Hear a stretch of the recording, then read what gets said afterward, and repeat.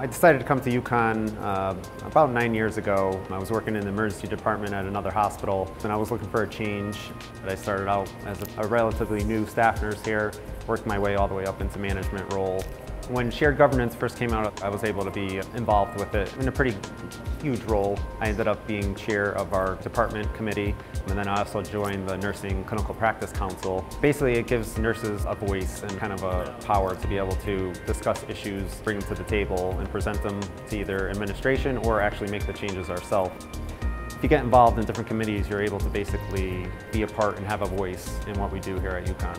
One of the great things that we have in the nursing department is our teamwork. We try to work together between units because we all share the same patients. For instance, for me, if I'm doing a pacemaker or an ablation or something of that nature, I'll follow them over to the intermediate care unit. So this way we can have that continuation of care and the patients appreciate it coming here to UConn. We have that small environment and you just have the opportunity to do so many different things. One of the things is probably my favorite thing that I've been doing for the past two years is the sim lab.